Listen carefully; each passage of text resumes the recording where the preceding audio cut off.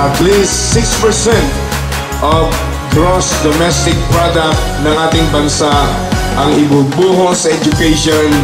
magkakaroon ng modernization ang ating mga paaralan, especially the public school system, at ang mga guro, magkakaroon po kayo ng dissenting economic security.